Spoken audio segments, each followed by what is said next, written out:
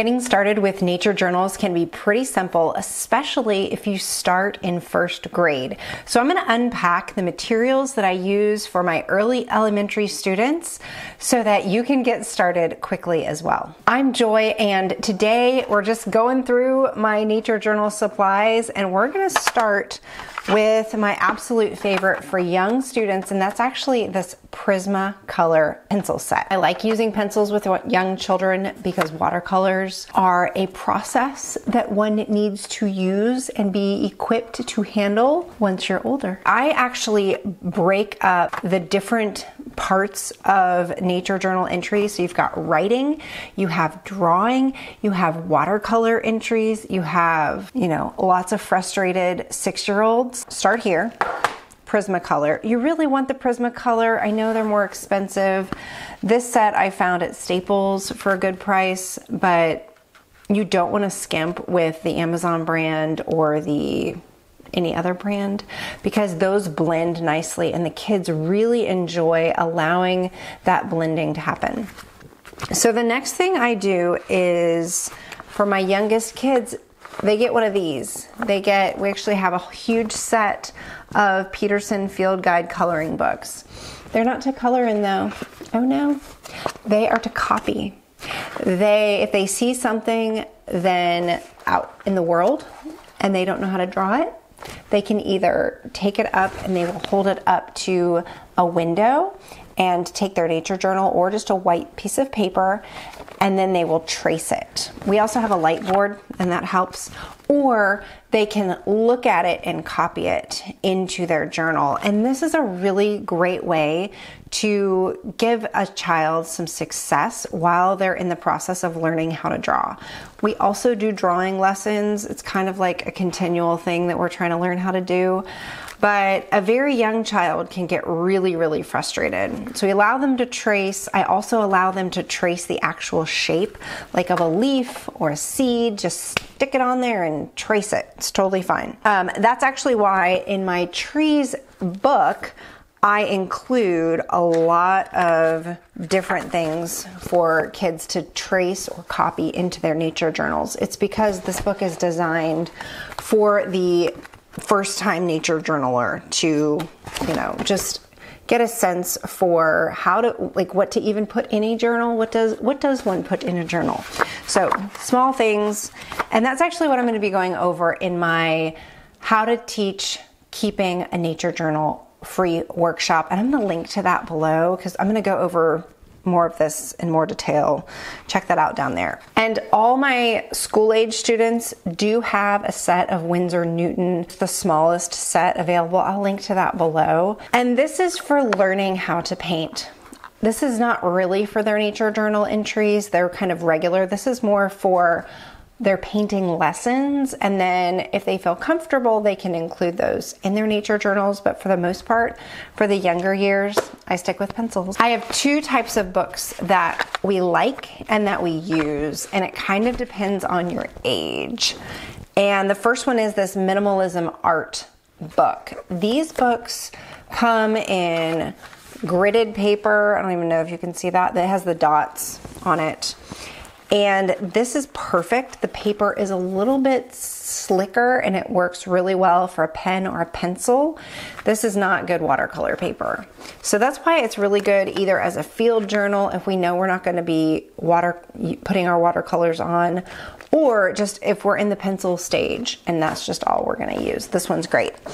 And then this one I had recommended by the CMEC, and it's fantastic. This is good watercolor paper, and I will link this below. It's Arteza, and my son has written his name on it, but you can see it's this fabric binding. It's got this cute little pouch that they can put stuff in, and we usually have a ruler in there and some other tools. And then the paper it does have a little bit of a texture. With watercolor, especially botanical, it's better to not have much of a texture, but guys, we're going off of what's what's going to work. I love it that it does lay flat. So that's fantastic. And then we keep everything in these nifty little canvas bags. Their little paints go right there. Zip it up. And then we have a basket and I just keep everything on the shelf in the basket. And then when it's time to do our nature journal entries, we all pull them out. I just pull the basket out, slap it on the table, everybody grabs their stuff. And we do that at home. Or if we're going on an adventure, I will get a bag and throw them all in there and then we'll hit the road. Okay, so now I'm just gonna show you three different ages of students, a six year old, a 10 year old, and a 13 year old and their level of work so that you can have the ability to kind of think for yourself like what are my expectations? Am i expecting too much? So this first one is a six year old a freshly minted six year old did this one. And you'll notice i included over here kind of i wrote down what she said. I wrote down what it's called I wrote the date. And then she just drew the picture based on what she saw and she used pencil. And this to me is totally fine. It was kind of a pinky purple, so she combined. And we're going for effort here. We're not going for does it look like the thing exactly? No, she tried to color it the color that God made it. Like, we're doing well. She got the petals. She even got the little detail of the stamen right here. She made the stem green. Like, we're winning. Next, we have a tulip poplar. And this is an image that was created by a 10 year old. So, 10 year old boy made it, I mean, it really did look very similar to this. He used paint, and that was his preference. I didn't require that. He could have just used a pencil and would have been just fine.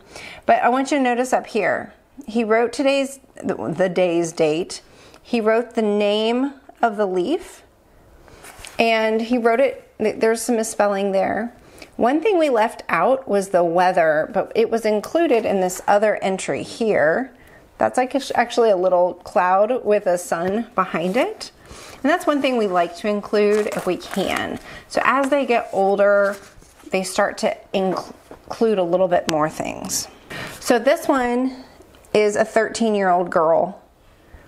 This is the actual leaf that she glued and dried into the journal. And then this is her watercolor painting representation of it. And we have the description says maple leaf from the front yard. It has the date. There is no sense of the weather, but I really love the attention to detail, including the spots, including, you know, this was interesting to her because of the modeling, right? There's these different colors that you're trying to get. And I bet the colors were even closer. So she's got a bunch of dots. And I know you can't, you can see it there and then you can see it in the original. So it's the attention to detail that we're going for. Just are you seeing? The point of using a nature journal is to help us see more closely and to study it with some purpose so that we're not just, I'm just staring at this thing. When we draw it and we try to represent it well on our paper, it's really a response. And I'm going to go through all the different types of nature journal entry options that we might have in the Teach Keeping a Nature Journal with Confidence workshop that's totally free. I want all moms, all homeschoolers everywhere to be able to at least get started using a nature journal. I what I hear the most is people say, "Well, I don't do that." because I just don't really know how. So, we're gonna kick perfectionism to the curb, and hopefully, I'll see you in the workshop. Thanks so much, and I'll see you next time.